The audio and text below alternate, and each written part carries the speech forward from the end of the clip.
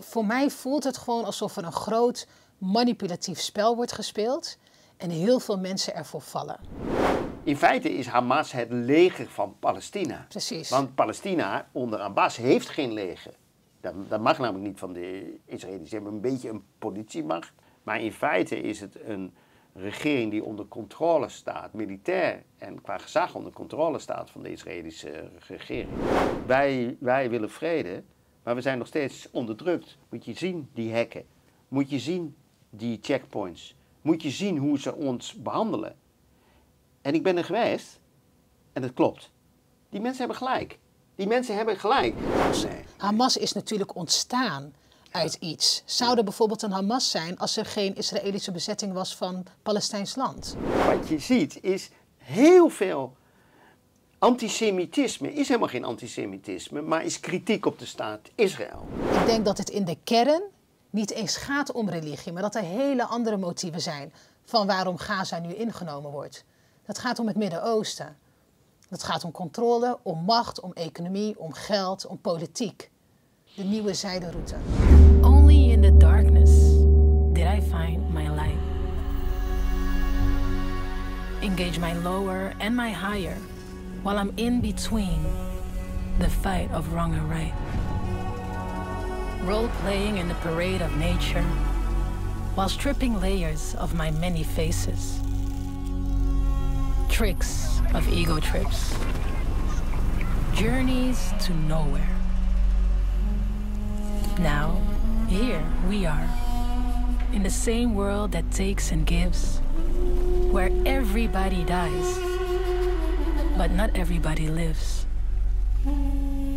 Yes, trauma and stress, but also our greatest powers lie suppressed in feared shadows, just craving to be expressed.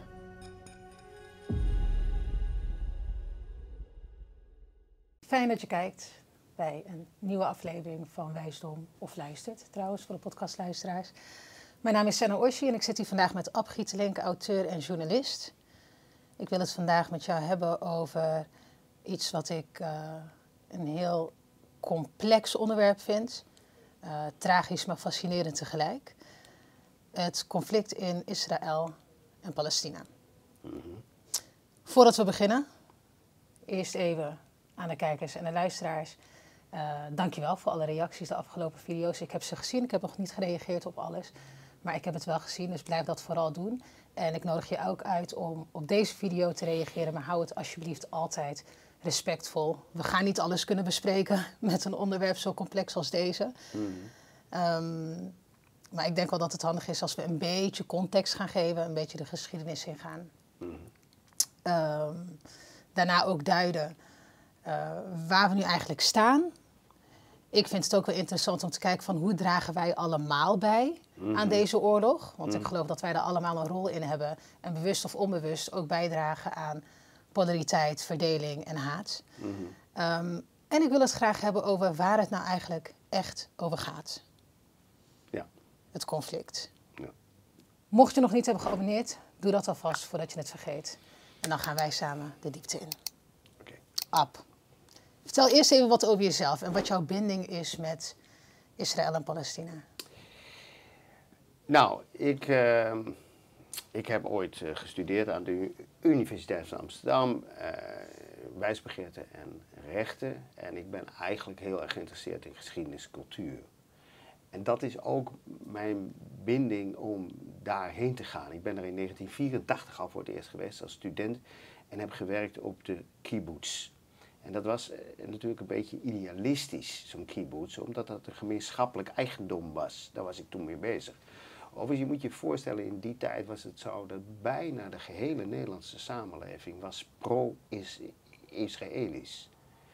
Ik had toen al wel het idee dat er natuurlijk wel problemen waren en dat de Arabische kant ook bestond.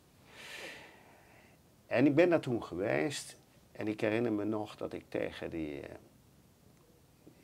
Uh, uh, dus ik kwam op een Joodse kibbutz, dat was allemaal heel interessant. En heb ook heel veel in het land gereisd, ben ook in de Sinai toen geweest, wat op dat moment toch onder Israëlische controle stond. En ik herinner me nog dat ik zei tegen een van die mensen van, en wat is dat, dat dorpje dan daar in de vallei? Nou, daar moet je niet komen. Arabs. Hmm. En de Westbank, ja, dat was onder controle. Daar waren, daar waren Palestijnen. Ja. En er was dus op dat moment dan een soort apartheid, een soort scheiding. En je begon je te realiseren dat daar natuurlijk heel veel fout zit. En de, de reden dat heel veel mensen dat, ook westerse mensen dat niet goed zien, ook in, in Nederland, heeft ook te maken met het feit dat er eigenlijk twee Israëls zijn. Leg eens uit, twee nou, Israëls. je, je- als je daar komt, dan denk je, nou, dat is een mooi, interessant land. Het is een Bijbels land. eh, Er zijn agrarische plaatsen. Het is een Westers land. Het is op een Europees eh, kwaliteitsniveau. Eh, ha- Tel Aviv is een, is een, is een Westerse, ehm, eh, moderne, cosmopolitische stad. Jeruzalem is een, is, een, is een historische, cultuurhistorische stad. Dat is voor mij natuurlijk de meest interessante stad. Maar er is ook een andere Israël. En dat is het Israël wat in feite Palestina is. Dus eh, als je zegt, ja, het is vrijheid, democratie en rechtsstaat, dan is dat zo voor de Israëli's. En misschien een beetje voor de Palestijnen die Israëli's zijn. Er wonen anderhalf miljoen Palestijnen in Israël, ze hebben een Israëlisch paspoort. Maar er wonen 2,5 miljoen Palestijnen op de Westbank. En ja, die, Die worden gewoon onderdrukt. En Ja. die leven in apartheid. En er wonen ook 2,3 miljoen in Gaza. Nou ja, wat er nu aan de hand is, maar ook daarvoor we- werden die natuurlijk al omsingeld. Die, die, die waren volledig afgesloten. Ja. Ehm, en ik moet je zeggen, ik heb zelf een. eh, ik beweeg me heel veel in Joodse kring. Toevallig is dat ook. Ik heb ook een Joodse zoon. Mijn, de, de moeder van mijn zoon is Joods. En dat is wel van belang om te begrijpen. Maar dat betekent natuurlijk niet dat je vindt dat de staat Israël zich zo kan misdragen als ze zich heeft misdragen. Maar dat conflict is al heel erg oud. En Dat is al begonnen niet alleen bij de oprichting van de staat Israël in 1948, maar dat is, heeft eigenlijk al bijbelse, dat is een bijbelse basis. En als je in dat op zichzelf fascinerende gebied, hè, Israël en Palestina, rondreist en je praat met de mensen en je bezoekt de plaatsen, dan begin je langzamerhand te begrijpen wat er in werkelijkheid allemaal speelt. Nou ja, jij mag dat zo meteen goed gaan duiden. In mijn hoofd, Ja. om heel simpel te houden, is het gewoon zo. eh, er kwam een gemeenschap naar Palestina. Daar woonden al mensen. Zij kregen een klein stukje gebied. Dus de Joodse gemeenschap kreeg een klein stukje gebied. En door de jaren heen werd dat gebied steeds groter. Hebben, heeft de Israëlische staat ehm, Israël uitgeroepen en is het steeds meer land gaan innemen van de Palestijnen. Ja, dat is. Lang verhaal Op kort. een bepaalde manier is dat zo. Maar ik denk wel dat, dat je moet zien dat er een hele diepe geschiedenis is waardoor zij van mening zijn, hè, die Joodse Israëli's van mening zijn, dat zij een historische claim hebben op dat gebied. Ja, En dat is goed om in ieder geval te begrijpen. Het is zeker goed om dat te begrijpen. En dan kunnen we het daarna hebben over of het rechtvaardig is of niet. En Ja, zeker de manier waarop het gebeurt, of dat rechtvaardig is of niet. nu komt de, de, de passie Want dat, dat er een claim is op het land, dat snap ik. Maar dat is een geschiedenis die we wel delen. Want dat hebben moslims natuurlijk ook. Nee, maar Voor- dat is waar. voor maar als we, als proberen land. te begrijpen, als we proberen te begrijpen waar zij zitten, het verhaal begint bij Abraham. Ja? Tweede, eh, 1500 jaar voor Christus. Dat is zowel bij de moslims als bij de joden en de christenen de vaderfiguur. Ja? De vader van vele volkeren heet hij. Zijn zoon Isaac en Jacob is de- wordt gezien als de mythische ba- basis van het Joodse volk. En zijn zoon Ismaël is de mythische basis van het Arabische volk. Ja? En beiden leefden mede, het Arabische volk leefde, is natuurlijk, leefde een heel groot grondgebied, maar leefden ook in het gebied eh, wat toen heette eh Canaan, het land van Canaan. En dat is wat nu Israël-Palestina is. Eh, de, de Joden hebben daar eeuwen gewoond. Je moet wel zeggen dat er ook andere volkeren wonen. Een van de volkeren die er woonden waren de Filistijnen. En de Filistijnen was een zeevarend volk wat in dat gebied gewoond. En dat zijn eigenlijk, eigenlijk de, de Filistini zijn de Palestijnen. Dus dat, is zijn, dat gebied heette dus al Palestina heel erg lang. Ja. Het is niet zomaar sommige eh, Nederlands-Joodse mensen doen of dat gewoon uitgevonden is, maar dat gebied heette al duizenden jaren zo. En dat was niet een, een, een onafhankelijke staat. Het viel in. eh, de- de- dus er zijn een aantal figuren. Mozes natuurlijk, de, ook een profeet Musa, in, in, ja. in, de, in de Koran. Jezus, de ik geloof vierde Isa. profeet in de Koran. Die leefde in feite in dat gebied. Mozes zwierf rond. Die kreeg de stenen tafelen eh, in de Sinaï, in die zwierf in de Sinaï-woestijn. Maar voor hem en zijn volk was dat het beloofde land. En Abraham is gestorven in Hebron. Dat is wat nu de Westbank is. En Isaac ook. En zijn familie woonde daar. En in dat gebied woonden al verschillende volkeren. En later eh, kwamen, werd het gekerstend, werd het christelijk. Onder leiding van Cons, Cons- Constantinopel. Ehm, en daarna, en dan praat je over toen Mohammed opkwam. Hè, dat is 600, eh, 600, eh, tussen 570 en 630 leefde eh, Mohammed. Je weet in Mekka, Medina, nou dat is een geschiedenis die ik niet hoef uit te leggen. Maar die islam verspreidde zich heel snel over wat nu de islamitische wereld is. En kwam eigenlijk in 634 al in Jeruzalem aan. En vanaf toen is een groot deel van het gebied, Palestina, is, ge, is geïslamiseerd. Daar ontstond wel een conflict, want de, de christenen claimden dat gebied ook.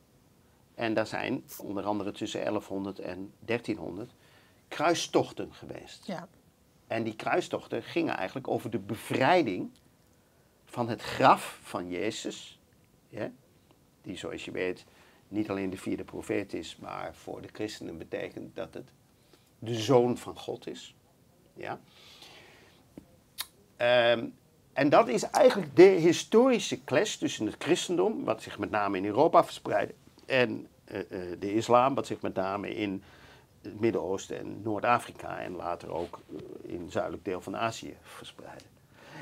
En ehm, en daar, daar is eeuwenlang natuurlijk een, een, een conflict ook geweest.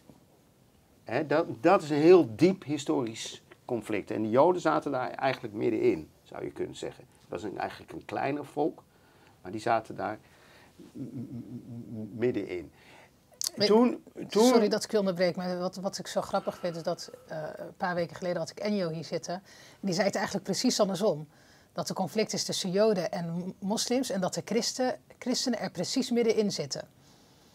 Ja, dat kan je ook zeggen. Dat kan je op een bepaalde manier ook nou ja, zeggen. hoe ik het liever wil zeggen, want woorden geven duiding. Eh, er zijn drie religies die allemaal land claimen waarvan zij vinden dat het heilig land is en waar zij recht op hebben. Ja, en er dat, is conflict. Dat, is, Want als dat er is iemand tussenin zit, zeggen we bijna alsof er een gevecht is tussen twee mensen en er zit een neutraal partij tussen. terwijl alle drie. Je, je, je kunt nu, daar heb je gelijk in. Kijk, in die tijd was het zo dat het grote conflict. de- de, eh, laat ik het zo zeggen. De Romeinen kwamen, dat was natuurlijk toch. eh, die waren toen nog niet christelijk, maar die zijn vanaf 330 christelijk geworden. En, en die. die, ehm, toen werden de Joden. die kwamen in opstand tegen de Romeinen en die werden toen verdreven en verbannen. Dat is in die periode gebeurd. In de Romeinse periode is dat eigenlijk gebeurd. In het jaar 70. En die hebben zich toen verspreid, de Joden hebben zich toen verspreid over Noord-Afrika, over het Midden-Oosten en Europa met name. En later, na eh, de, de, de, de eh, kolonisatie van de Verenigde Staten en Amerika, en ook Zuid-Amerika, over, eh, over Amerika. Daar wonen natuurlijk ook heel veel Joodse mensen toen. En die zijn eigenlijk opgegaan in, in de verschillende bevolkingen. Er woonden voor de oorlog hier 100.000, in Amsterdam alleen, 100.000 Joden. Uh, toen is er een, een, een idee ontstaan.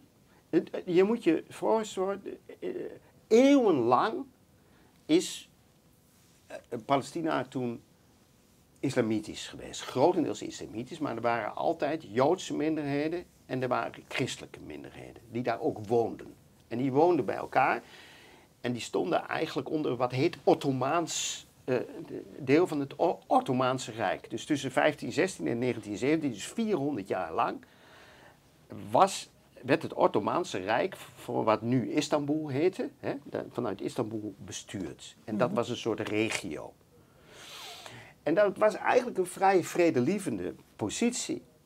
En toen ontstond er iets dat aan het eind van de 19e eeuw het verlangen bij een aantal mensen in de Joodse gemeenschap ontstond. En dat had ook te maken met pogroms, maar het had ook te maken met een ultiem idee. Wij zijn Joden en wij willen een eigen land. En wij willen terug naar het land waar onze Bijbelse voorvaderen, waar wij geboren zijn, wat de, bakermat van ons, ons bestaan is. En dat is het land Palestina, heette dat toen. En dat, dat moet het land Israël worden. Ja, het beloofde land. Het beloofde land. En die beweging heet het Zionisme. En uh, Zion betekent terug naar de berg Zion. De berg Zion is een berg in, bij Jeruzalem. Ja. En de man die daar eigenlijk gezien wordt als de vader van het Zionisme is Theodor Herzl. En die schreef een boekje, Der Judenstaat, de Jodenstaat. Uh, en die woonde in, dat heeft hij geschreven in 1896 in Wenen. Dus was een Europeaan gewoon. Ehm, en er ontstonden toen Zionistische wereldcongressen. En die waren bezig met het idee, ja, wij moeten eigenlijk langzamerhand terug. Het punt was, de meeste Joden hadden daar helemaal geen zin in. Want die dachten, ja, wat moeten we daar? Uh, ja, Jeruzalem is dan natuurlijk wel een heilige stad. Maar goed, het is daar ook vrij arm en zo. En er wonen overigens ook Arabieren, Palestijnen. Dat hadden ze wel ergens door natuurlijk. Um, maar misschien kunnen we naar de Verenigde Staten, want dat is rijk. En dus de meeste Joden gingen helemaal niet daarheen, die gingen naar de Verenigde Staten. Maar dat sloot in 1920 ongeveer. In 1920 zei de Verenigde Staten, wij willen verder geen 21, geen immigranten meer uit Europa hebben. Er zijn 6 miljoen Europeanen naar de Verenigde Staten getrokken in die periode, 1880 tot 1920. En toen was het zo dat in die periode uh, de Britten, de koloniale Britten, het protectoraat kregen over Palestina. En tussen 1917 en 1947 hebben ze dat gehad. En toen is er een situatie ontstaan dat in die periode, dus voor de oorlog nog, honderdduizenden Joden naar Palestina zijn geëmigreerd vanuit Oekraïne, vanuit de Russische. De Oekraïne bestond toen nog niet als land, dat was deel van de Russische, uh, het Russische keizerrijk eerst en later de Sovjet-Unie. Maar dus ook ze, trokken, ze trokken in die periode, dus rond, uh, tot aan 1947, ja. trokken Joden dus naar Palestina. Ja. Ja? Uh, op basis eigenlijk van een voorstel van de Britten ja, wat er, wat, er, wat er gebeurde was dat, dat het Joods Wereldcongres, hè, dat bestond dus zou maar zeggen, vanaf 1890 ongeveer tot, tot die tijd, eh, dat zei wij willen toestemming hebben om een Joodse staat te stichten. En toen is er een Brits, de Britse premier Balfour heet hij, die heeft toen in, in, een, in een briefje gezegd, ja, er moet ruimte zijn voor een Joodse staat in Palestina. Ja. Nou, dat is de kern van het probleem geworden. Want daar woonde al een volk. Precies. En uh, nou zeggen die Joden, ja, maar wij woonden er ook. Dat was wel zo, maar het was ongeveer 90% om 10%. Dus de Joden hebben er altijd gewoond, maar in kleine aantallen. En de christenen hebben er ook altijd gewoond, in kleine aantallen. Maar de meeste waren islamitische Palestijnen. Dat was gewoon de werkelijkheid. Maar dat verschoof op het moment dat honderdduizenden Joodse mensen gingen dus er zijn ongeveer in die periode een miljoen mensen, Joodse mensen bijgekomen. Nou, de Palestijnse islamitische bevolking was ook ongeveer een miljoen. Dus dat werd, werden twee, twee groepen die deels door elkaar woonden, maar deels eigen nederzettingen ontwikkelden. En een aantal van die Joodse mensen was, had ook geld. Die Ja. kwam uit de Verenigde Staten. Dus die investeerden. Ja, dus... En dat is, dat is waar, waar eigenlijk het probleem uit voortgekomen is. En je kan zeggen, ja, er is een drang geweest om dat land te cultiveren. En je kan dat ook nog wel zien als een positief eh, aspect. Het zijn immigranten, het zijn kolonisten, ze hebben dat land in ontwikkeling gebracht. Maar ja, op een bepaald moment was het de claim, wij richten een eigen staat op. Precies. En toen ging het van 90 versus 10 procent Naar 50-50 ongeveer. naar 50-50. Ja. Dus waar je eerst gewoon een land had, Palestina, veel Arabieren met een beetje Joden die verwelkomd waren, Ja. werd eigenlijk het land steeds meer ingenomen. Nou Ik ja, zit alleen al te denken, stel je voor hier in Nederland, we hebben het wel eens over immigranten die hier dan komen Ja. en die in huizen moeten komen. Heel Nederland staat op de kop, mensen klagen, ze nemen onze baantjes in, eh, woningmarkt is al zo krap. En dan zitten ze te zeiken, sorry dat ik het zo zeg, over immigranten, vluchtelingen die hier naartoe komen. Stel je nu eens voor dat er vluchtelingen komen en een staat gaan oprichten en Noord-Brabant innemen en Zuid-Holland innemen en Groningen veroveren. En geweld gebruiken en bommen gooien en kinderen Ja, mishandelen. nu komt, ik bedoel, hallo. En- Nee, maar en- daar ligt, kijk, kijk, kijk je, het ligt iets, gese- eh, iets genuanceerder. Ja, in eerste instantie. Want kijk, zij zeiden, er was geen, er was geen soevereine Palestijnse staat. Er woonden die mensen wel, maar de soevereiniteit, dat is natuurlijk toch belangrijk, die Maar lag op dat moment in handen van de Britten namens de volkerengemeenschap. En inderdaad, de Britten hebben toegestaan, dat is de kern van het probleem geweest, dat die Joden bij, bij honderdduizenden daar kwamen wonen. Vervolgens kwam je in de Tweede Wereldoorlog terecht. Nou, je weet, iedereen weet wat in de Tweede Wereldoorlog met het Joodse volk is gebeurd. En de Holocaust. En dat gaf voor een groot deel van de wereld, niet de Arabische wereld, maar wel de rest van de wereld. En ook voor, voor Europa toch het idee, de Joden hebben na alles wat er gebeurd is, recht op een eigen staat. In de plaats waar zij geboren zijn. Prima. Die hebben ze Ja, gekregen. dat is het. dat- Prima, die hebben ze gekregen. Ja. Dat ging ook een tijdje goed. Ja. Maar even fast forward naar nu 2023. Als je het land toen vergelijkt met het land nu. Ja. En als je kijkt naar de manier waarop land wordt ingenomen. Ja, nee, maar kijk, wat er, is- daar is wat er niks- daar is niks neutraals Nee, daar heb je ook is- gelijk in. Daar heb je ook gelijk in. Maar ik, ik probeer alleen maar uit te leggen, ook voor jouw publiek, wat de achtergronden zijn en de, en de emoties zijn en hoe diep dat in feite gaat. Je moet je ook voorstellen wat er, wat er gebeurt. In 1948 is de, Israëlische, de staat Israël opgericht. In 1947 is er een verdelingsplan gemaakt. En dat verdelingsplan, dat is resolutie 181, door de VN, die toen net was opgericht, heeft gezegd, dit is Israël en dit is Palestina. En Israël is toen op dat gebied, hebben de Israëli's, de Joodse Israëli's die daar woonden, hebben dat, dus de, de, de staat Israël uitgeroepen. De Palestijnen, met steun van de andere Arabieren in, de- in hun omgeving, waren het natuurlijk daar niet mee eens. Want die zeiden, ons land is geroofd. Ja, Ja. Ehm, zij zeiden, kijk, vanuit de, de, Europeanen is het zo, ja, maar er was geen soevereine staat. Er is een gebied wat betwist is en wat door de VN is, is beslist. Toen is er een situatie ontstaan, ongeveer tussen 1948 en 1988, dat er wel drie of vier Israëlisch-Arabische oorlogen zijn geweest. Hè, dat is onder andere de Zesdaagse Oorlog, de Yom Kippur-oorlog. En de Suezkanaaloorlog. En daarin, die, de Israëli's hebben met steun van de Amerikanen met name en de Europeanen eh, stand gehouden, zou ik maar zeggen. En eh, zijn, men heeft dat niet kunnen eh, overwinnen. En in 1967, tijdens de Zesdaagse Oorlog, is het zelfs zo dat ze gebieden hebben bezet namelijk de Westbank en de Gaza-strip, die hun niet toehoorden. Ook volgens internationaal recht hun niet toehoorden. Precies. En ook de Sinaï. Eh, Dat was Egypte. Precies, dus En ze daar, hebben meer gepakt dan eigenlijk is afgesproken. ja, maar zij zeiden, wij worden niet erkend en wij dwingen de erkenning af. Dit zeiden wie? Dat zeiden de, de Joodse Israëli's. Oké, dus daarmee rechtvaardigen zij hun manier Ja. om land af te pakken. Nou ja, we hem even omdraaien, want die erkenning heeft Palestina in eerste instantie niet gehad. En er wordt steeds meer land Nou, ingenomen. het probleem, het, pro- het probleem daarvan is geweest, en ik vind het allemaal een verschrikkelijke tragedie. Hè? Laat helder zijn waar ik sta.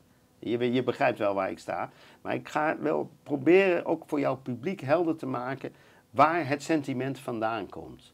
En je, je realiseert je ook, als je die geschiedenis kent, dat het een broedervolk is. Dus dit is ook een diepe broedertwist. En een van de problemen is nog niet de geseculariseerde Israëli's en geseculariseerde Arabieren, maar mensen die dat doen op basis van historische bijbelse claims. Dus je moet je voorstellen, de, de mensen, hè, er wonen 2,5 miljoen Arabieren in de Westbank, die omringd zijn door die muur eh, en die claims. En ja, die leven in apartheid, dat klopt. Dat is echt niet te geloven. En daar komen 500.000 nu in 40 jaar. Joodse kolonisten. Dat zijn niet de meest moderne. Dat zijn archaïsche, ouderwetse kolonisten uit de Verenigde Staten. Die zeggen, op onze Torah-boeken en onze Bijbel is dit heilig land. Wij leven in Hebron.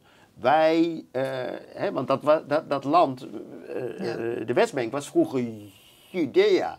Dat heet in de Bijbel Judea. En Samaria. Dus dat, daar was de woonplaats van de, van de, van de Joden. Het, het tragische van het verdelingsplan is dat de VN, uitgaande van hoe toen de verdelingen waren, heeft gezegd: dit is Israël en dat is Palestina. Maar daarmee heeft ze historisch Joods gebied tot Palestina gemaakt en historisch Palestijns gebied tot Joods gebied gemaakt. Dat is ook heel erg raar eigenlijk, als je, als je de kaarten bestudeert. Maar het kwam er in, inderdaad op, op neer dat de VN gezegd heeft: dit is de situatie. En daar heeft de meerderheid van de, van de wereldbevolking zich achter geschaard. Althans, de meerderheid van de toenmalige machts. En dat was natuurlijk. Ja, dat werd door het Westen heel erg gestuurd. Want het Westen, met name de Europeanen, hebben de VN en al die internationale organisaties opgericht. En na de oorlog werd, werden de, enerzijds de Verenigde Staten en anderzijds de Sovjet-Unie eh, eh, werden machtige staten. Eh, en eh, ja, die hebben inderdaad ook de staat Israël erkend en de ruimte gegeven. Maar Israël heeft. de- Wat ik heel bijzonder vind, want tot op de dag van vandaag is, is eh, eh, Palestina als land niet door iedereen erkend. Nee.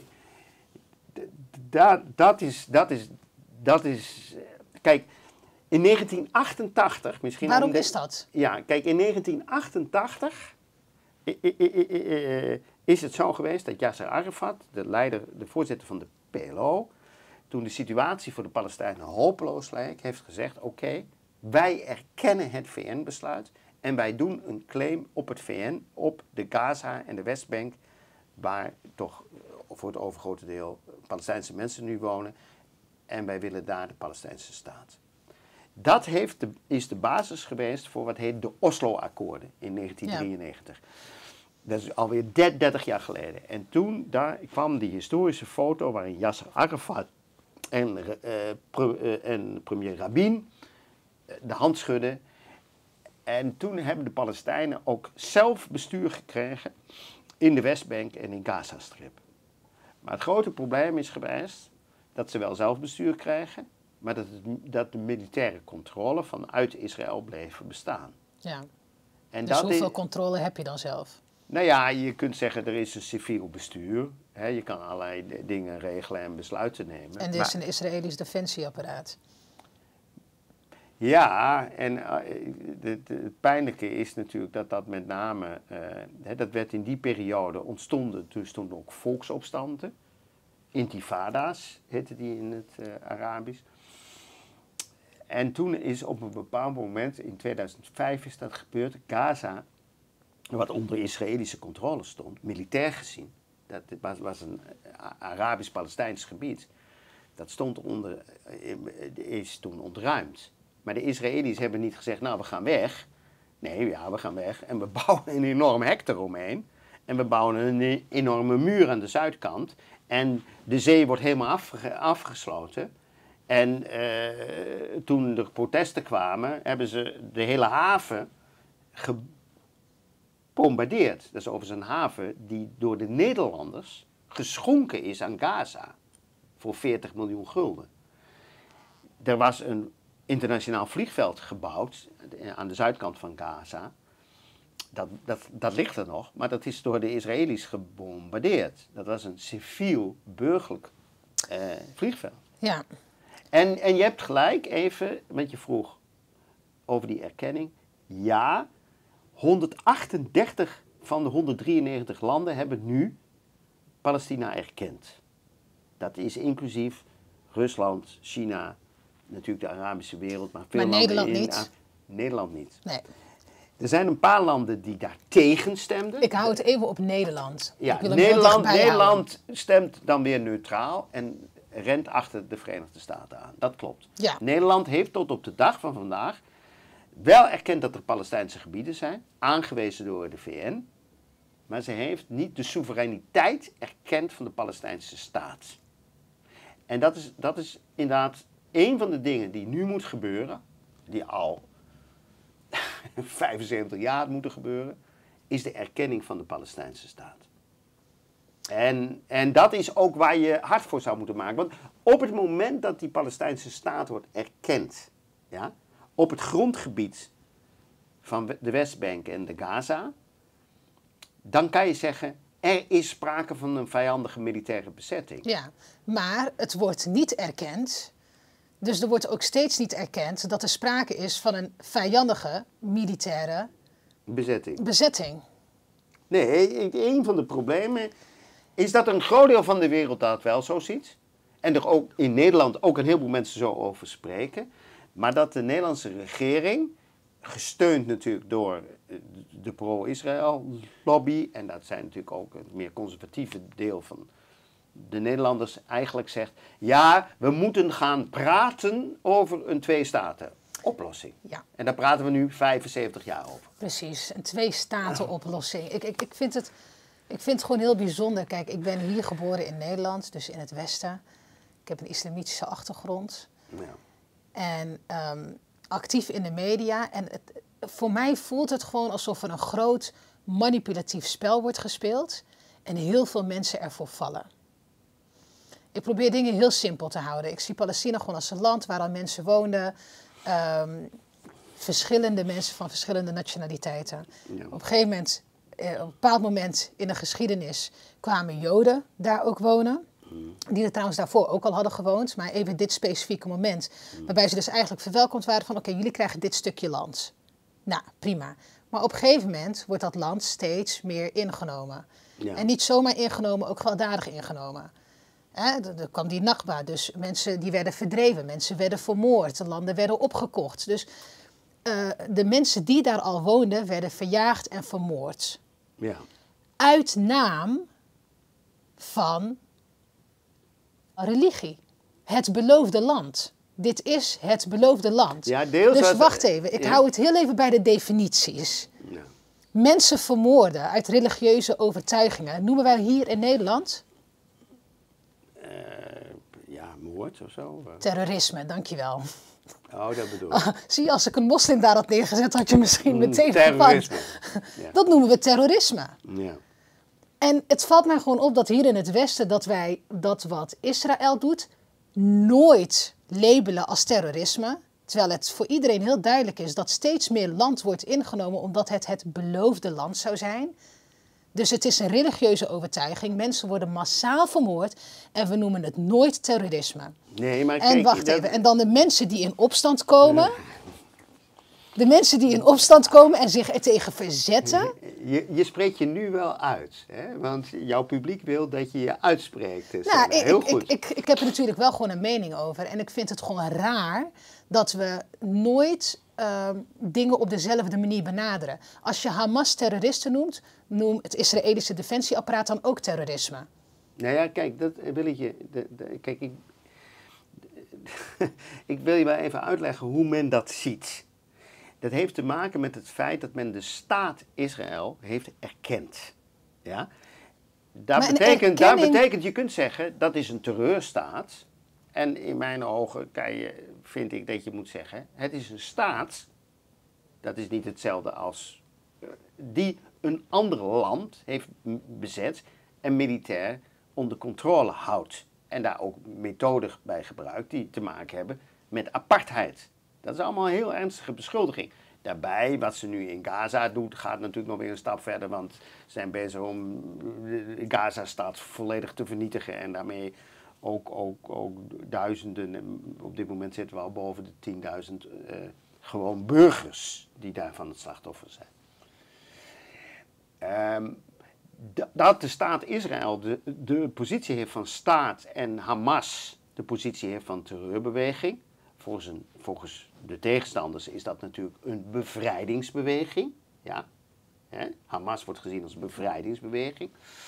Kunnen we ook zo nog even over praten, wat de achtergronden zijn van uh, Hamas.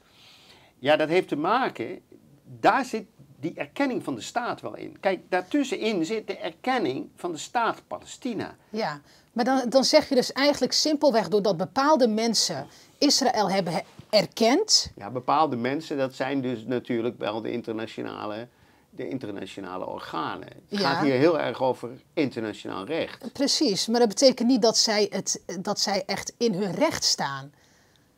Dat is dus het kromme aan dit alles. Dus ze erkennen een staat nou in een bestaand land wat niet erkend wordt. Nou ja, en ondertussen, als zij, als zij verder mensen de, uitmoorden om nog meer van dat land in te pakken, dan, dan wordt dat gewoon toegelaten. Nou ja, kijk, wat natuurlijk gebeurt is dat zelfs als je de staat eh, Palestina nog niet hebt, erkend, dat je natuurlijk wel moet toegeven dat dat door de VN aangewezen Palestijnse gebieden zijn. En dat die op dit moment vijandig militair door Israël worden bezet. En zelfs op dit moment Gaza wordt gewoon gebombardeerd. Uh, en dat is tegen internationaal recht in. Het is niet zo dat de Israëli's dat recht hebben. Een van de grote problemen is dat heel veel mensen, ook in, in de westerse wereld, dat wel zeggen. Het is niet zo dat, dat het Westen Hamas dat allemaal fantastisch vindt of zo. Je moet je voorstellen, Europa heeft voor een gedeelte eh, eh, de Palestijnse staat wel erkend. Dat is inclusief Spanje, Frankrijk, Zweden. Daar bestaat de staat Palestina. Eh, Nederland, Duitsland. En Duitsland is natuurlijk een heel moeilijke positie. Waarom is die erkenning zo belangrijk? Ja, die erkenning is heel belangrijk omdat daarmee eigenlijk de, de legitieme claim van, een, van een, de Palestijnse autoriteit, wat in feite natuurlijk de Palestijnse regering is op dat gebied. Dus je, dan kun je. Kijk, kijk, wat de Israëli's voortdurend zeggen: dit is betwist gebied. Dit is geen eh, op de Westbank en de Gaza. Met andere woorden, er is helemaal geen regering. Ja, er is een terreurbeweging. Die heet Hamas en die voert hier de, de, de regering. Ja, er is een Palestijnse uh, regering in ballingschap, die zit in Ramallah. Hè? Die, die, die claimt Oost-Jeruzalem, maar Oost-Jeruzalem, dat is gewoon Jeruzalem, dat is, dat is de staat Israël, dat is de Joodse staat.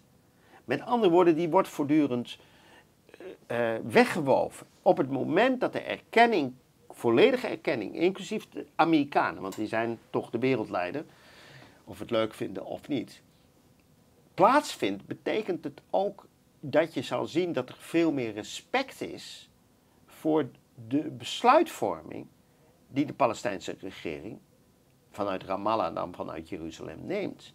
En dan zou gezegd worden, ja, maar die hebben uh, de soevereiniteit over dat gebied. Een van de grote problemen bijvoorbeeld is dat in 2006 zijn verkiezingen geweest. Hamas en Fatah zijn de grootste partijen. Maar Hamas heeft die verkiezingen gewonnen. Daar is een burgeroorlog uit ontstaan. Betekent in feite dat Fatah onder eh, president Abbas in de Westbank uh, de macht heeft, althans de macht heeft, want de Israëli's hebben de macht, maar het bestuur formeel heeft, met name in de Palestijnse steden, in negen Palestijnse steden op de Westbank. En dat de hele Gaza-strook, inclusief Gaza-stad, eigenlijk onder controle van Hamas is. En dan is ook goed om uit te leggen aan de bevolking. Ja, maar Hamas is niet zomaar een terreurbeweging. Hamas is een politieke partij. Hamas heeft, is, een, is in feite het bestuursapparaat in Gaza. En daarbij is het dus een sociale beweging. Ze bouwt infrastructuur met steun overigens van Arabische donoren. Qatar heeft bijvoorbeeld voor miljarden geïnvesteerd in Gaza. En helpt ook de, de Palestijnen. Daarom is Gaza, was Gaza toch nog wel een redelijke welvarende, moderne stad. Ja, en belangrijk ook, zij komen in opstand en vertegenwoordigen Palestijnse bevolking mm. uh, die het niet eens is met nog meer land weggeven. Nee, maar kijk, een van de problemen, een van de problemen is denk ik, waarom stemt de Palestijnse bevolking voor een groot deel, hè, 50% en meer, voor Hamas en niet voor Fatah? Het tragische van de vredeskoers is, die begonnen is met Yasser Arafat in 1988 en ook door Abbas wordt doorgezet, is dat, dat de Palestijnen op de Westbank zeggen, ja, we hebben 40 jaar gepraat, nu met die Israëli's, wij, wij willen vrede, maar we zijn nog steeds onderdrukt. Moet je zien, die hekken. Moet je zien, die checkpoints. Moet je zien hoe ze ons behandelen. En ik ben er geweest en het klopt.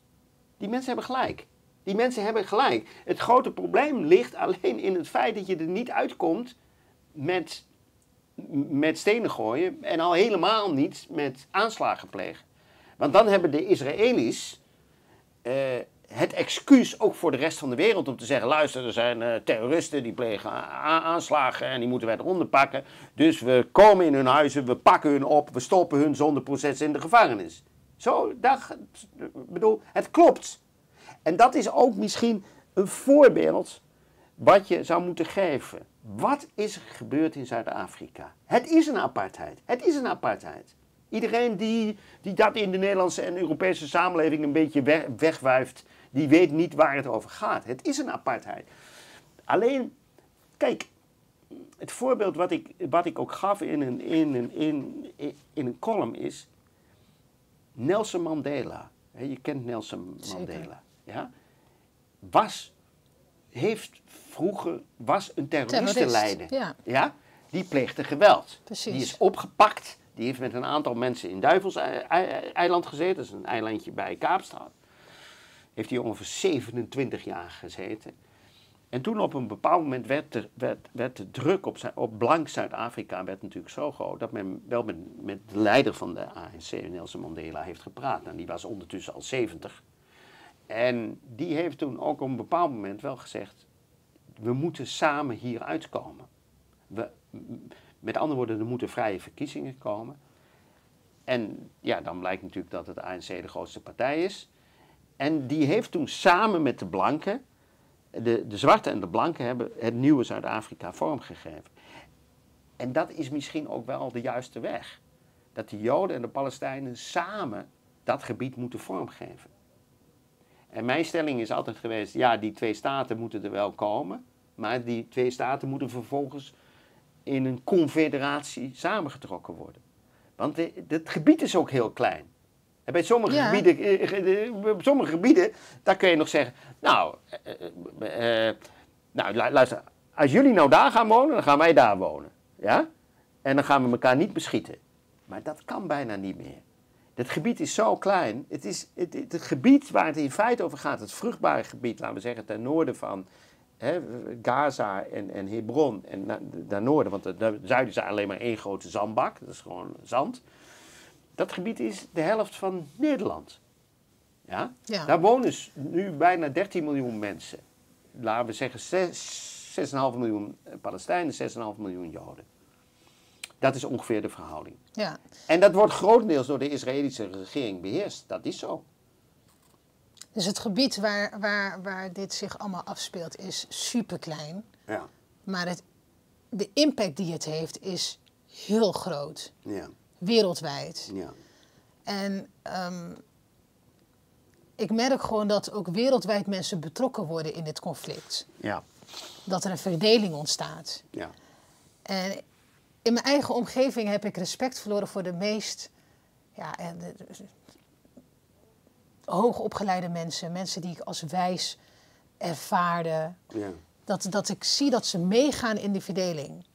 ja. Dat ze meegaan in de polariteit. Nou, Dus bijvoorbeeld, om terug te komen op termen, Hamas een terroristische organisatie noemen ja, en diezelfde termen dan niet gebruiken voor de tegenstander. ja, ja.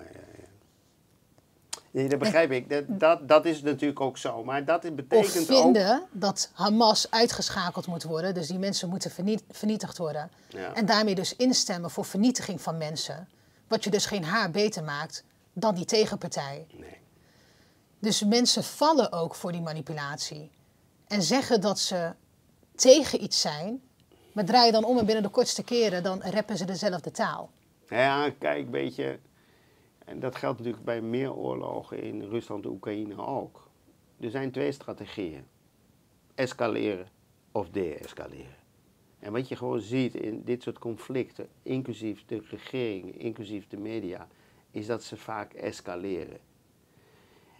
Dit gebied is zo klein, de verhoudingen zijn zo complex en historisch zo diep geworteld, dat je er alleen maar samen uitkomt. En dat betekent dat je gewoon in overleg moet. Dat je vertrouwen moet wek- wekken. Er is natuurlijk wantrouwen. Er is wantrouwen van de Joden naar de Palestijnen en andersom. En dat wordt eigenlijk door, door een deel van de wereld eerder geëscaleerd dan gede-escaleerd. Tegelijkertijd is het misschien het positieve verhaal, denk ik wel, dat een heel groot deel van de wereld eh, wel ziet van ja jongens, eh, we moeten nu de wapens, wapenstilstand maken en we moeten in overleg. En dat overleg is de erkenning van de staat Palestina op, op het internationaal gebied. Wat dus al door 138 landen is gebeurd. Hè? Maar de, binnen de VN heeft Palestina een waarnemersstatus en een kandidaatstatus, dus geen officiële status. En is door Israël, Amerika en Nederland niet erkend. Dat is eigenlijk waar het in feite over gaat. Maar tegelijkertijd is het wel zo dat ook Nederland erkent dat er Palestijnse gebieden zijn en dat die Palestijnse gebieden niet Israël is. Met andere woorden, dat iedereen wel ziet dat Israël ja, sowieso niet het recht heeft om te doen wat ze, wat ze nu doet, maar ook voortdurende schendingen pleegt van internationaal recht. Maar daar zit inderdaad bij dat wij met twee maten meten. Dit land, Nederland voorop, maar in de westerse wereld is dat natuurlijk heel sterk. Men meet heel sterk met twee maten. En men draait het internationaal juridisch zo dat het eh, in het eigen perspectief juist voorkomt. Want ik snap, ik snap de woede, ik snap de frustratie, ik snap de wens van mensen die, die dan hier in het Westen zeggen van nou, Hamas moet uitgeschakeld worden en het moet stoppen. Ik ja, maar dat zal het probleem niet oplossen. Nee, nee. Hamas is natuurlijk ontstaan uit iets. Zou er bijvoorbeeld een Hamas zijn als er geen Israëlische bezetting was van Palestijns land? Nee, nou, nou ja, kijk, e- even dan Hamas. Hè, e- e- even de grondslag van Hamas. Hamas is volgens mij. Maar eerst ja of nee? Nou, niet, Zou Hamas niet, bestaan? niet in deze vorm. Niet in de, in de militaire vorm. Oké, want ik wil even die oorzaak en, en gevolgen Nee, maar- scherp hebben. Kijk, kijk, als je ziet, Hamas is begonnen ja, als sociale beweging, sociale organisaties overigens, en eh, islamitische organisaties in, in relatie met de PLO. De PLO was toen de Palestijnse Liberation Organization onder Yasser Arafat, die pleegde ook aanslagen in de wereld. Hè. En de Israëli's hebben die Hamas-beweging, dat was ook een sociale beweging, die bouwde infrastructuur, scholen, eh, die bouwde eh, eh, eh, hospitalen, nogmaals met Arabisch geld. Ehm, en De Israëli's hebben wat? Die Israëli's hebben dat ondersteund. Die hebben Hamas Die ondersteund. hebben in de Hamas ondersteund. 80. Maar ja, maar de, de oprichter, ook belangrijk om even te zeggen, was Sheikh Ahmed Yassin. Dat is die man in die rolstoel, bekend beeld. Dat was de oprichter van Hamas. Ja. En die was islamitisch.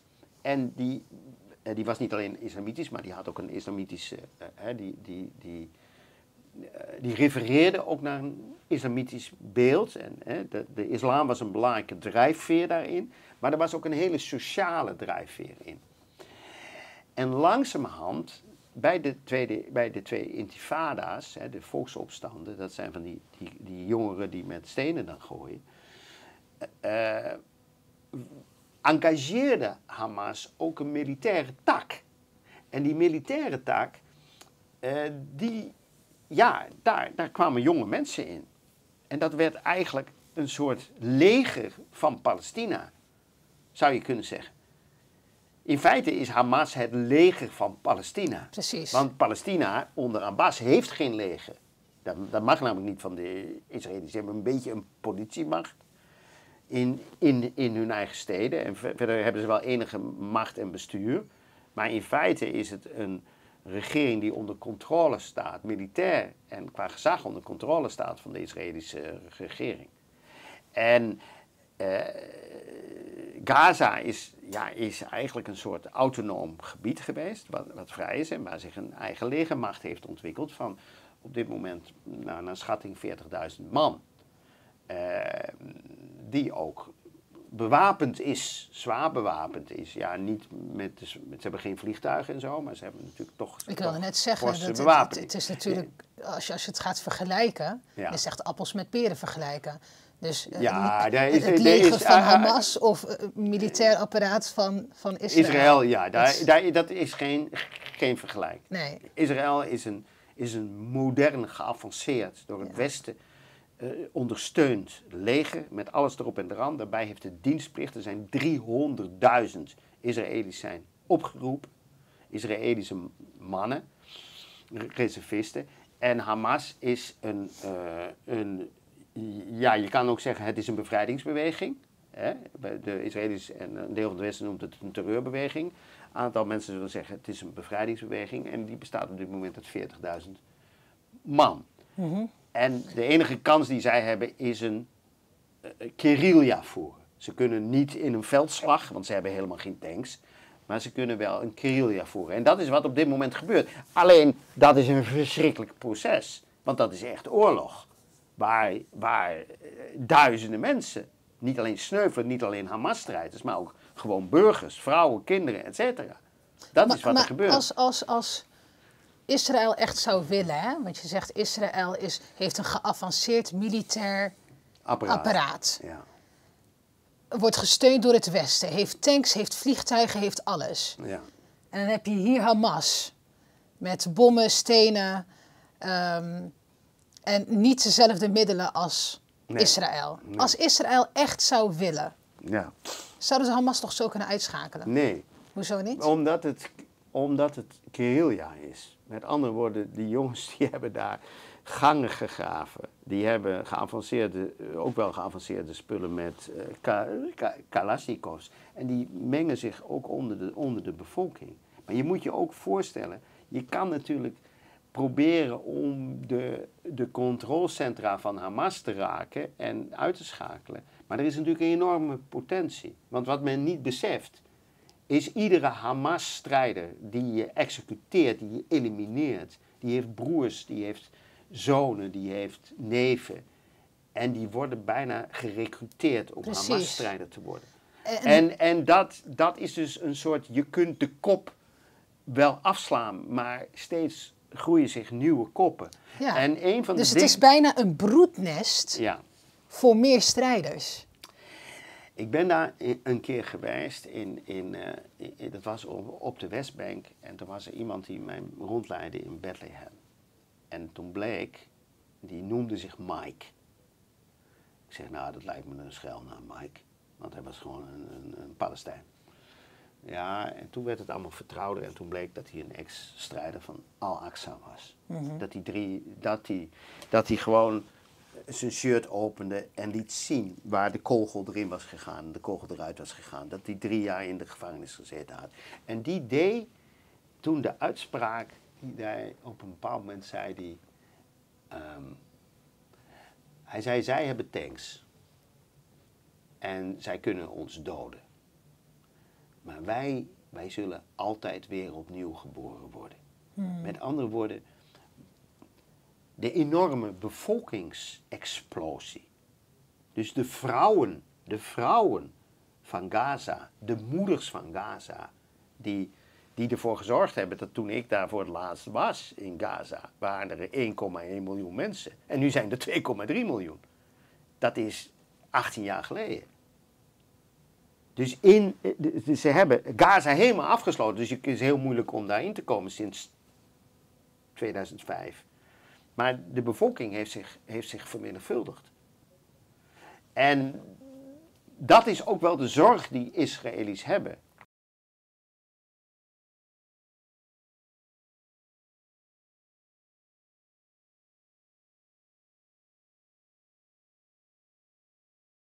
Er zijn ongeveer 5 miljoen blanken daar en 30 miljoen zwarte.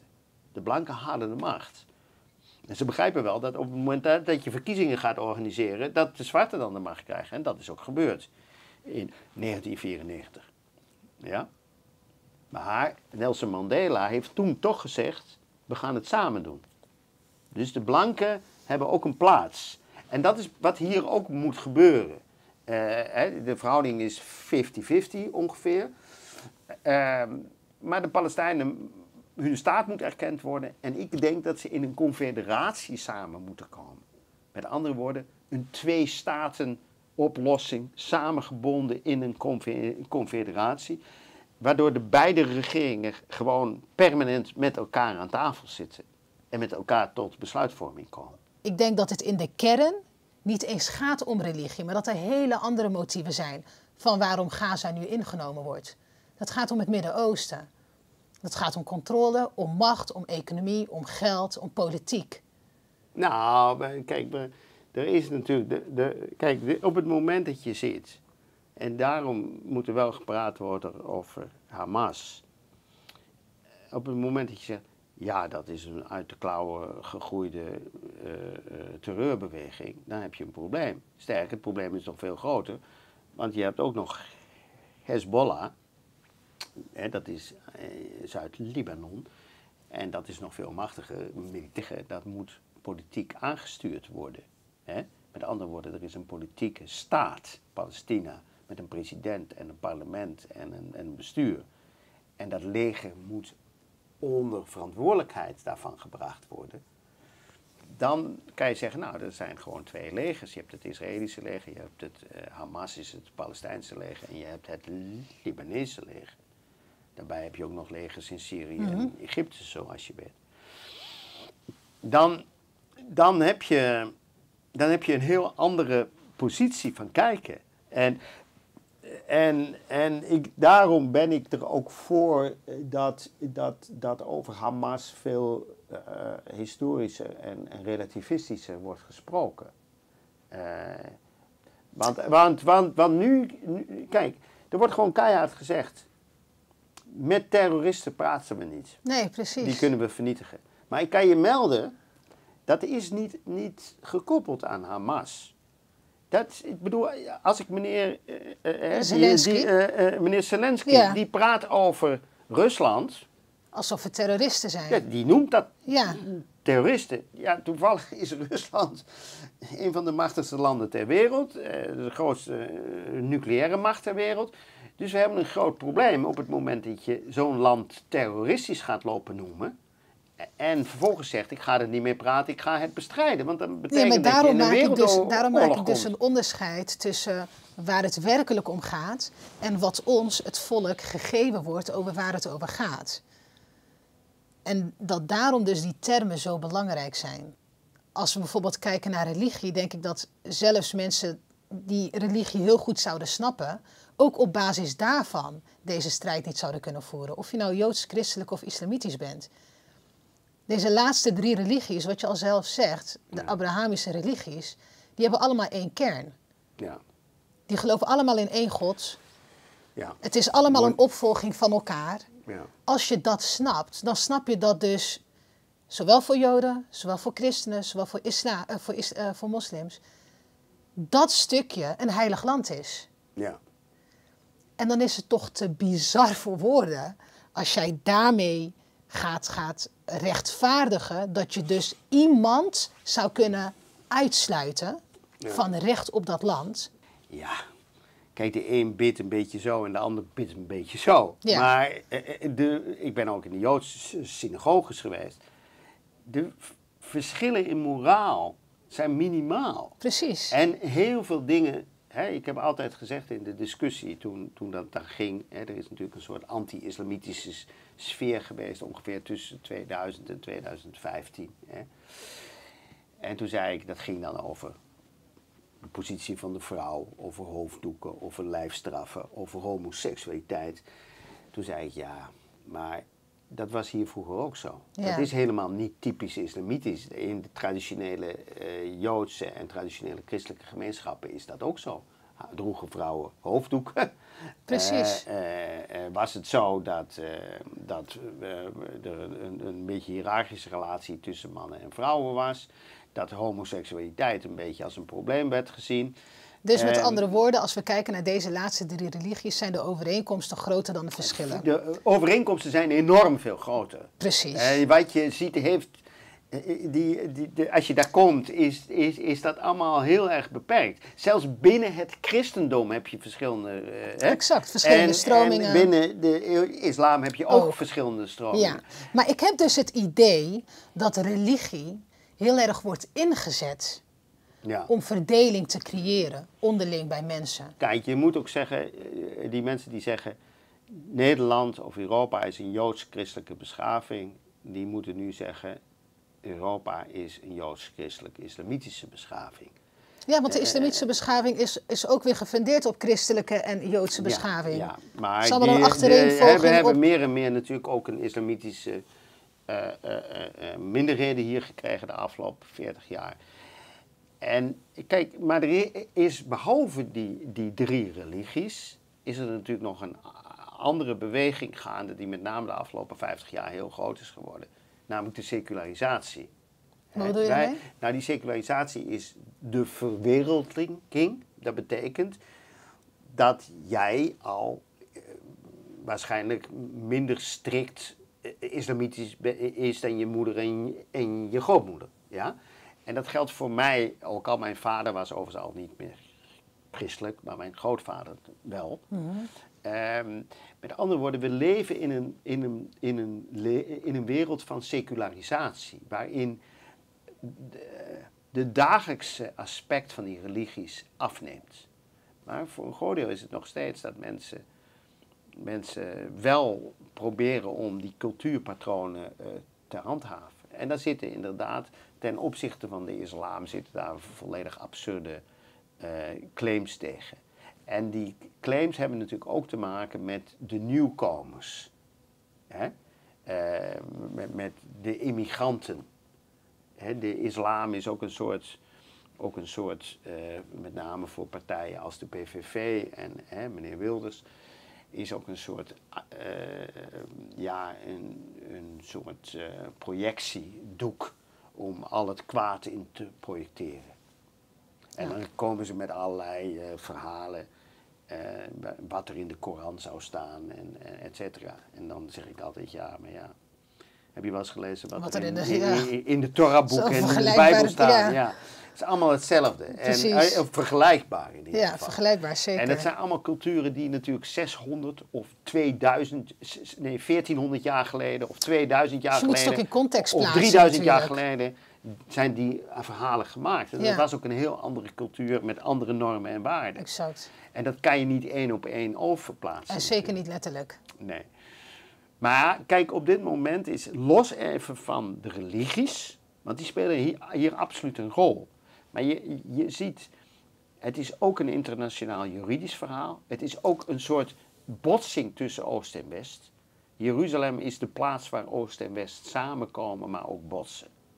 Zou je, zou je kun- kunnen zeggen. Dat is ook het fascinerende van dit wereldconflict. Het conflict Rusland-Oekraïne, waar ik ook eh, afgelopen anderhalf jaar natuurlijk sterk mee bezig ben geweest, ook een boek over geschreven heb. Dat gaat eigenlijk, daar speelt die religie minder een rol. Maar dat gaat eigenlijk over ja, de westerse beschaving of de Europese beschaving ten opzichte van de Europese Russische beschaving.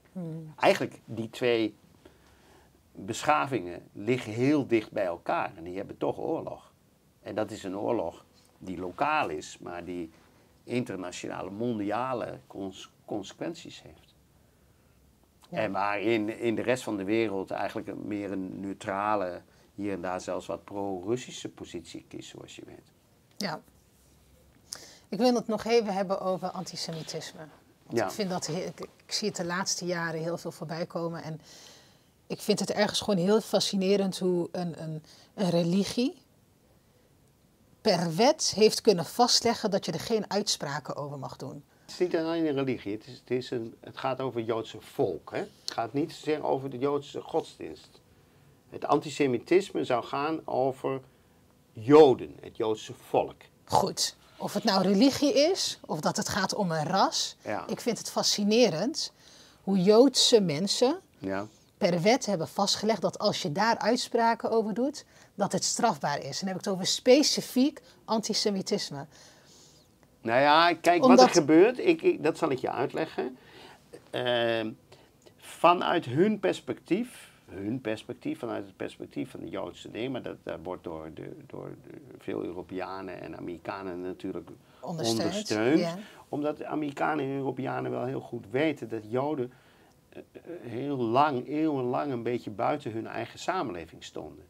Dus ik heb toen die islamieten hier kwamen, dat is tijdens mijn leven heel erg gebeurd. Hè? Jouw, de, Marokkaanse en Turkse, toen zei ik op een bepaald moment wel, ja, de rol die wij hun geven is eigenlijk de rol die we de Joden gaven 300 jaar geleden of 200 jaar geleden. En je moet ook oppassen dat ze niet worden gediscrimineerd, want ze worden gediscrimineerd. Hè? De, de, de, ah, nou, De- Wie, daar- wie, wie, oh, wie heb je het Nee, de, de, eigenlijk, eigenlijk kan je zeggen dat de islamitische allochtone gemeenschap die in Nederland gekomen is de afgelopen 40 jaar, Ja, heel erg de rol heeft overgenomen die honderden jaren is vervuld door de Joden. ja. Namelijk een minderheid die in zekere zin geaccepteerd is en in zekere zin een beetje buitengesloten wordt. ja. Ja? En die, die Joden zijn dus volledig geïntegreerd. Die zijn deel van de blanken geworden. hè? Zo wordt er ook over gepraat. Dus de, de- er is helemaal geen, geen verschil meer. En ja, de taak van onze generaties is om de, de nieuwkomers, de islamitische nieuwkomers, ook volledig deel te maken van de Nederlandse samenleving. Ja. Of de Europese samenleving. Ehm, Maar, dus maar ik dat jou- antisemitisme, kijk, maar dat even dat ik zeker weet dat ik je goed heb begrepen. Hè? Even dat ik zeker weet dat ik je goed heb begrepen. Jij zegt dus dat jij vindt dat eh, Arabische moslims hier in het Westen Ja, dezelfde rol vervullen als generaties Ja. terug de Joden hadden. ja, Oké. Dat is waarom ik het zo interessant vind, Ja. antisemitisme, ja, haat. ja. Omdat ik denk dat haat op allerlei manieren plaatsvindt bij verschillende mensen. En dan niet om in een slachtofferrol te kruipen. Ik ben islamitisch en Arabisch, dus ik heb het meegemaakt of ik maak het mee. Iedereen maakt het mee op een bepaalde manier.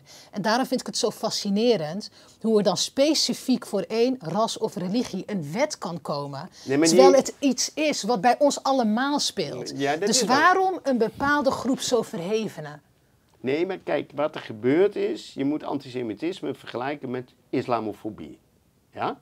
Daar moet je mee Maar daar is geen wet voor. Nee, maar vervolgens is dat niet zo nu en dan geleid tot pogroms alleen en uitsluitingen, maar tot de holocaust. En die holocaust in de Tweede Wereldoorlog tussen 1942 en 1945, hè, Ja. in die kampen, hè, je weet het verhaal, 6 miljoen doden die daar zijn, eh, 6 miljoen Joden die daar zijn overleden, zelfs voor een, voor een deel vergast.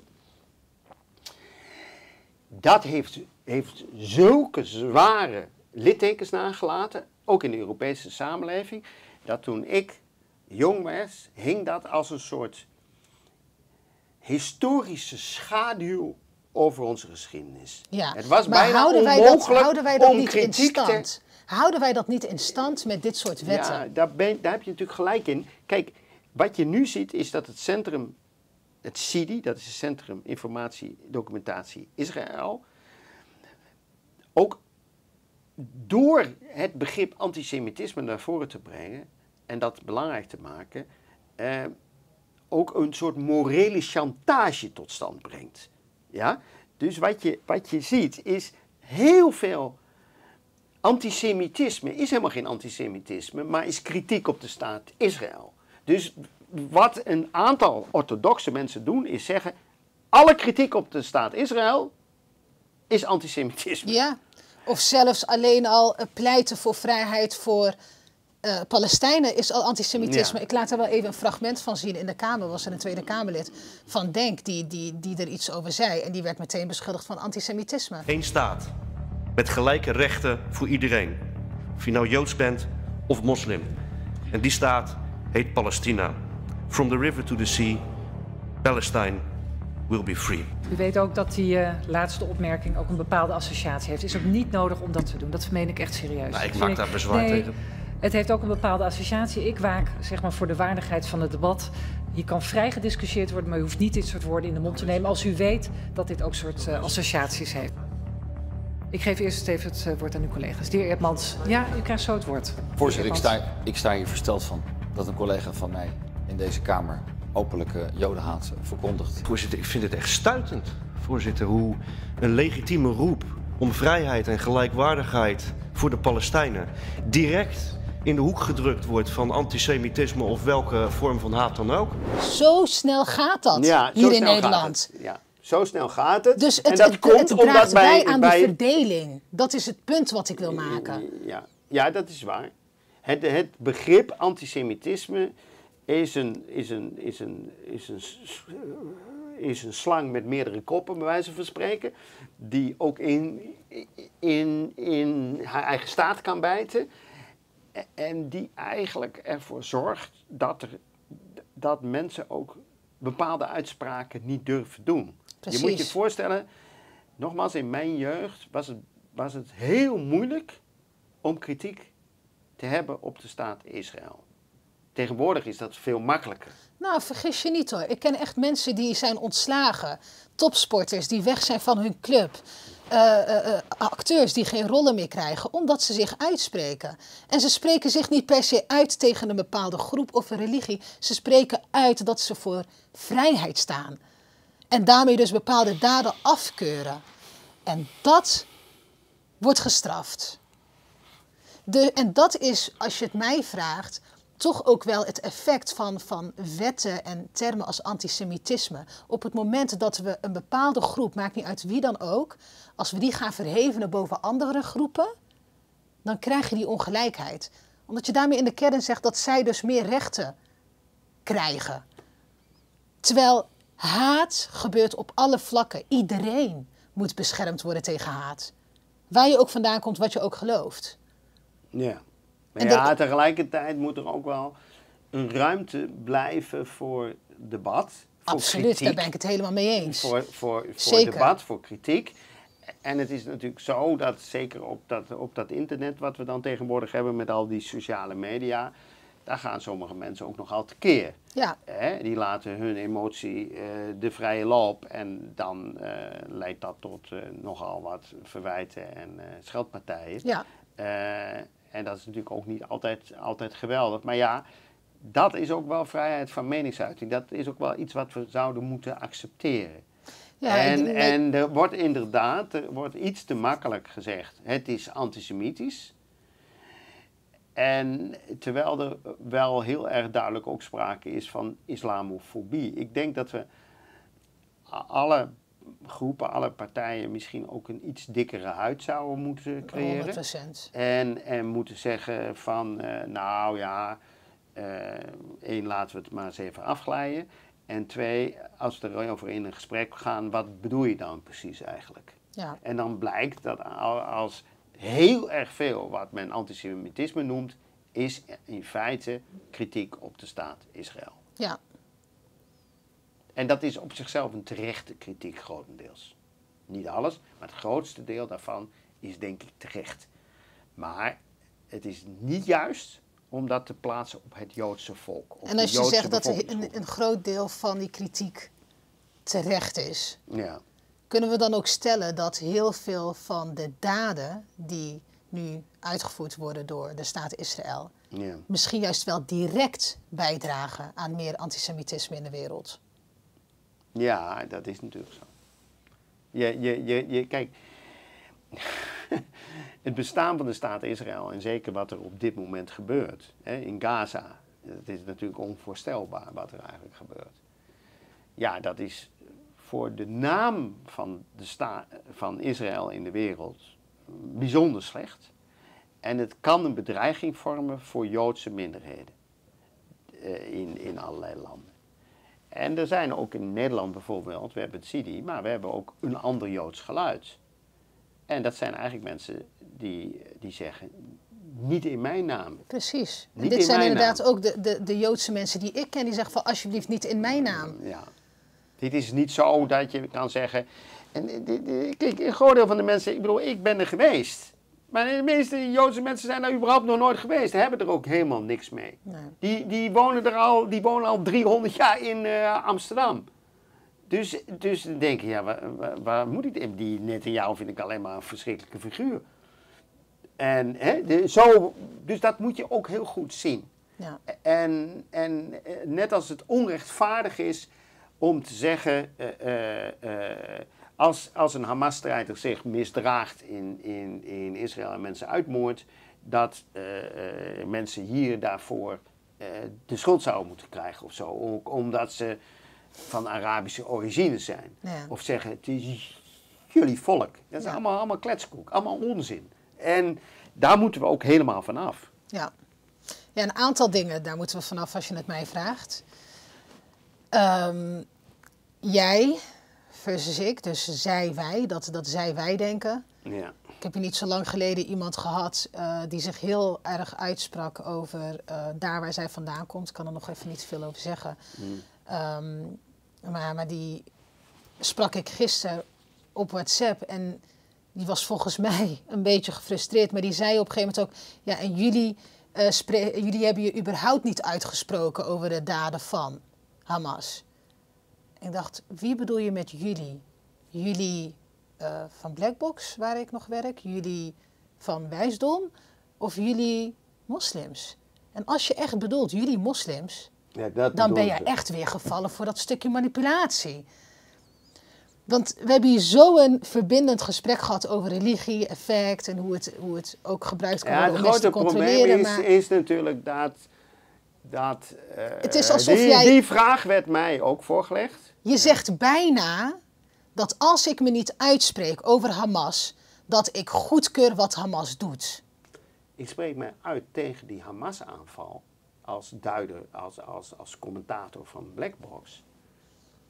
Maar je moet wel heel goed begrijpen waar het vandaan komt. Er is wel sprake van onderdrukking, van repressie, van apartheid Ja. van de Palestijnen in Israël.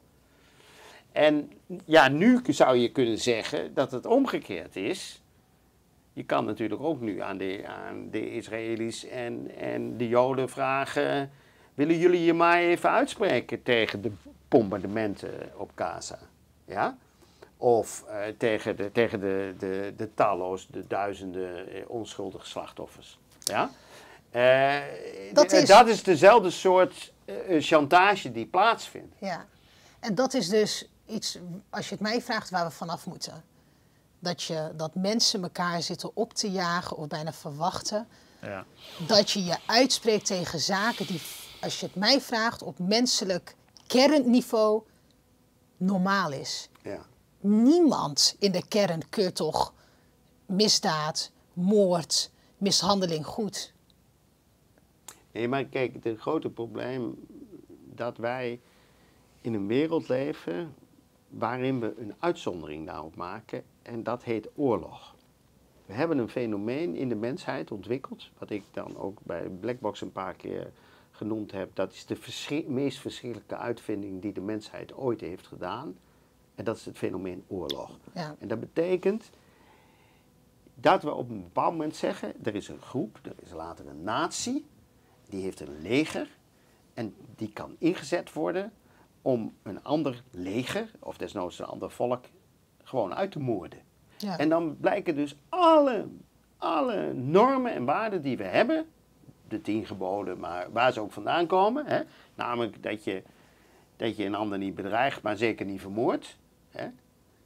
Dus we zitten in de absurde positie dat, dat, je, dat, dat je een ander niet eens mag aanraken, laat staan, mag toeschreeuwen of een klap mag geven. Ja, want dat is al strafbaar. En dat is zelfs een misdrijf vandaag de dag. Terwijl je op het moment dat je, dat je in een leger zit en een mitrailleur krijgt, dan mag je gewoon de ander over, overhoop schi- schieten. Of je mag bommen gooien uit vliegtuigen die hele gebouwen met de bevolking daarin opblazen. En het ergste is nog dat, je, dat, dat, dat vervolgens wordt gezien of je, of je een oorlogsheld bent. Ja, Ja? Ja. En dat is eigenlijk een zo absurde, een zo absurd contrast, dat een deel van de verwarring daaruit voortkomt, denk ik. En dat is ook het verhaal dat op het moment dat je zegt, Hamas is een leger, ja, dus niet een terreurorganisatie, maar een bevrijdingsorganisatie, of niet een bevrijdingsorganisatie, maar gewoon het leger van de staat Palestina, dan geef je dat een morele upgrading, Ja. waardoor je heel anders naar het conflict gaat kijken. Zij zullen zeggen, wij doen een militaire operatie om de terreurgroep Hamas eh, te elimineren of onder controle te krijgen, zoiets. Ja? Het is, Eigenlijk zeg je gewoon, er is maar one way and that's my way. Het is jij of ik en jullie moeten aan de kant. Dus ik heb het recht om jou te vermoorden. Nou ja, een van de grote problemen die ook nu speelt natuurlijk, is dat men zich afvraagt wat is de werkelijke agenda achter de Israëlische regering. Ja, Is dat dat is waar ik het net over had. Is dat misschien een uitdrijving van het Palestijnse volk in Gaza? Is dat een tweede Nakba? Ja? Eh, je weet, in de Nakba in 1948 zijn 750.000 eh, Palestijnen verdreven van het gebied wat aangewezen was voor de staat Israël. Maar de VN had natuurlijk wel gezegd, dit wordt de staat Israël. Maar dat betekent niet dat Palestijnen van hun land en uit hun huizen verdreven mochten worden. Hè. Dat is iets heel anders. Want dat betekent dat ook minderheden in die staat mogen bestaan met volledige burgerrechten. Dat is het idee. En ja, de angst is nu, en sommige mensen hebben dat ook wel gezegd, dat eh, eh,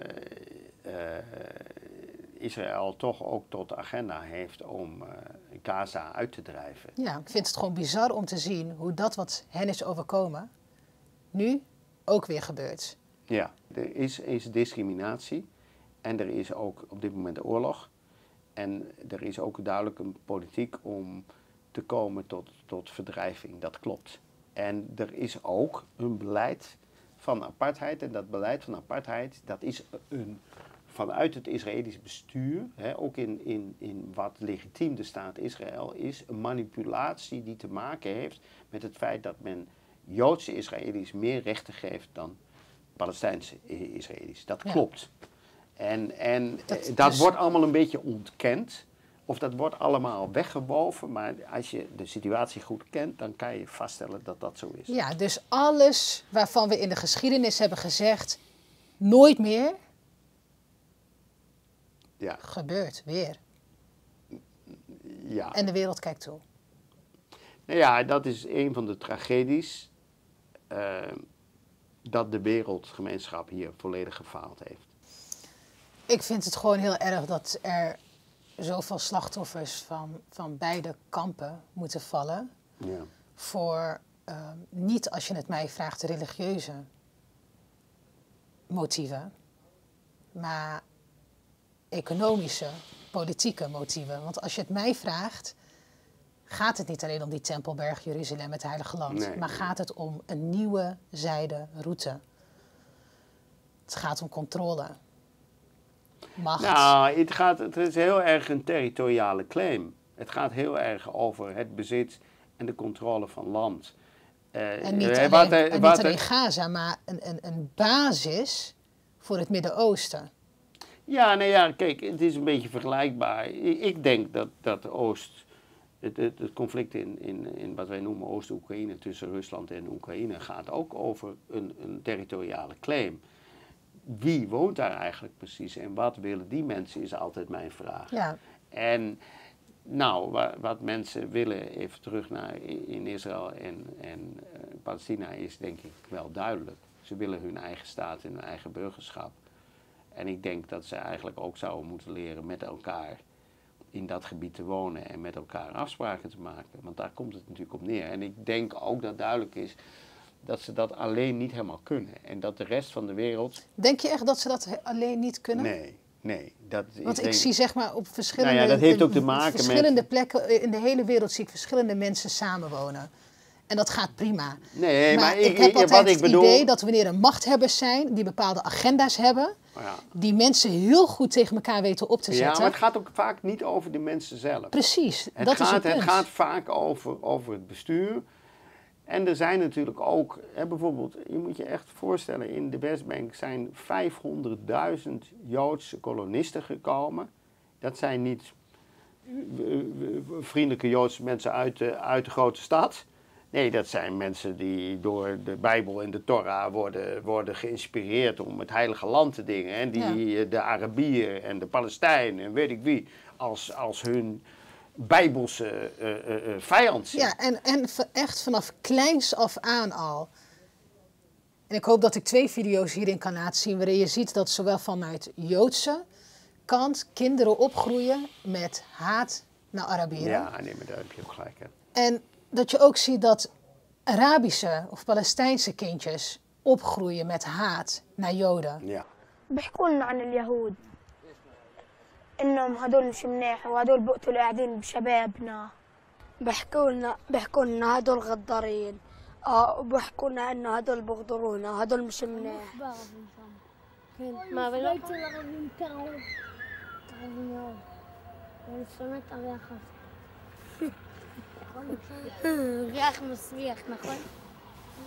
Dat zijn natuurlijk dingen die, die eigenlijk niet zouden moeten kunnen. Maar daarom zeg ik, ze komen er alleen niet uit.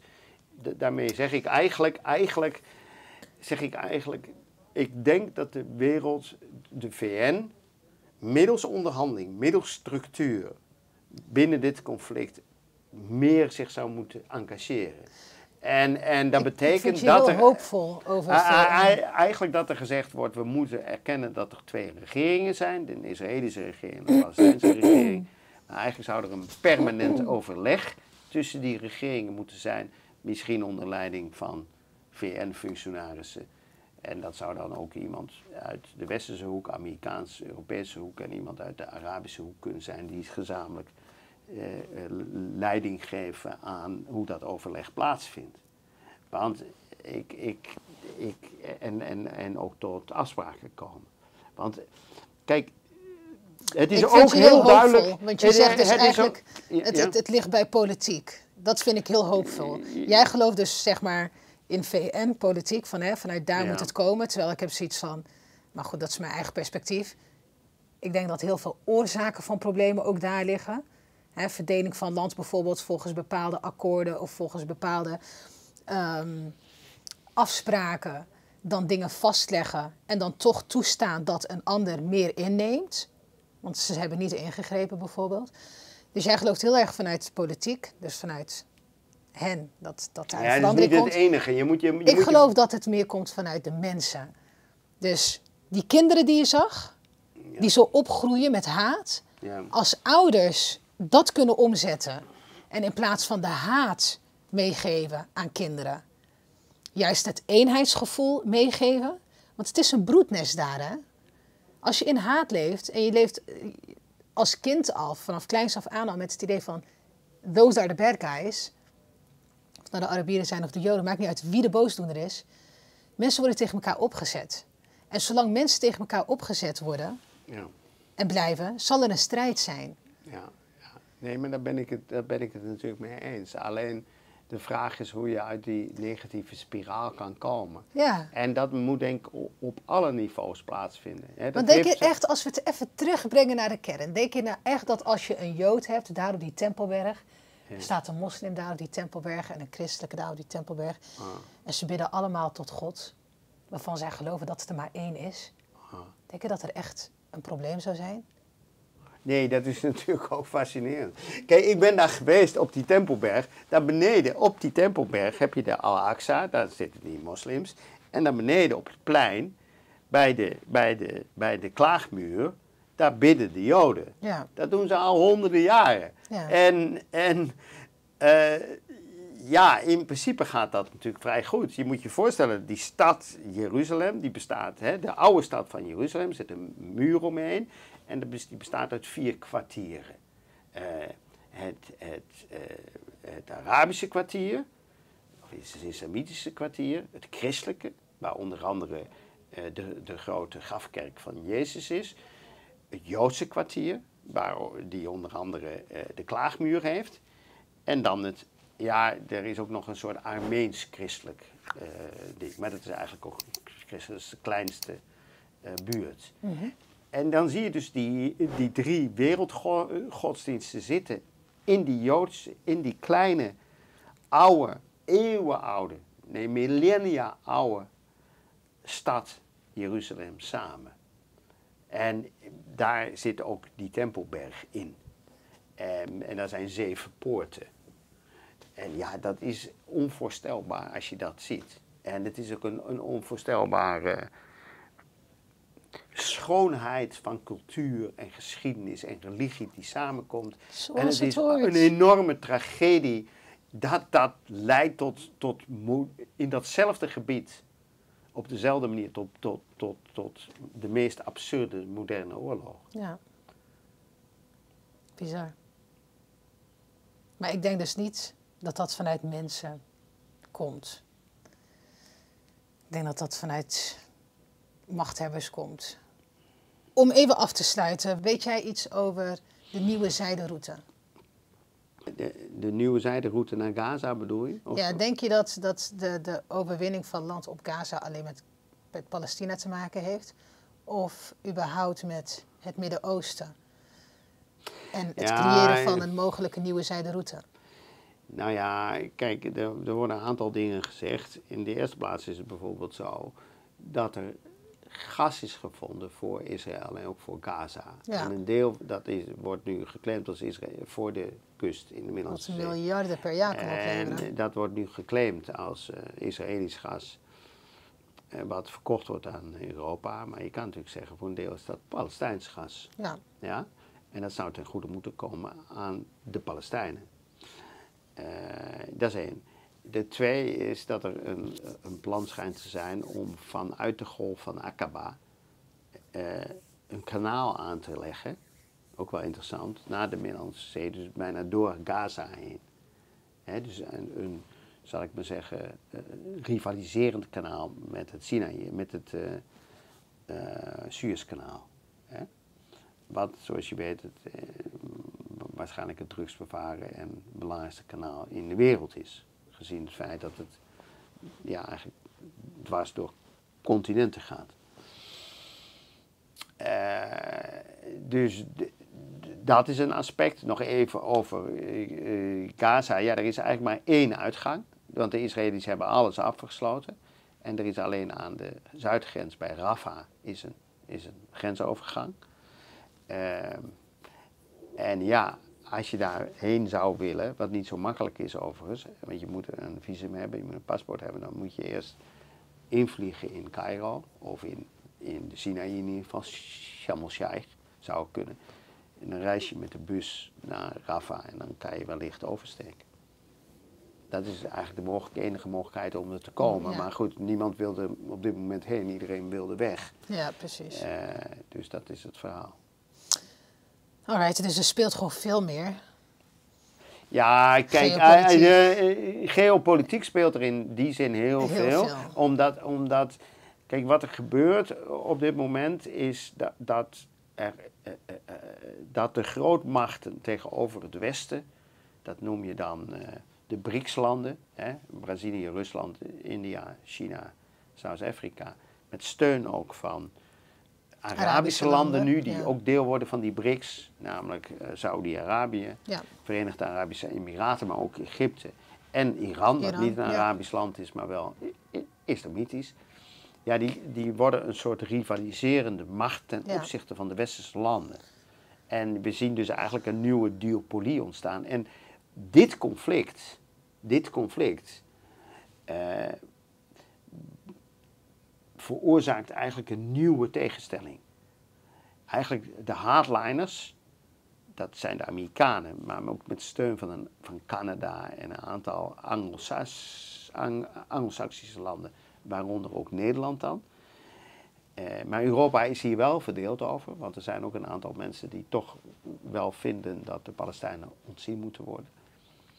Tegenover, uh, laten we zeggen, hele grote delen van de wereld die gewoon toch aan de Palestijnse kant staan. Dat is met name die BRICS-wereld. Ja. En uh, dat zou wel eens grote consequenties kunnen hebben voor de toekomstige relaties ook tussen de Arabische wereld en de Amerikanen bijvoorbeeld. Zeker.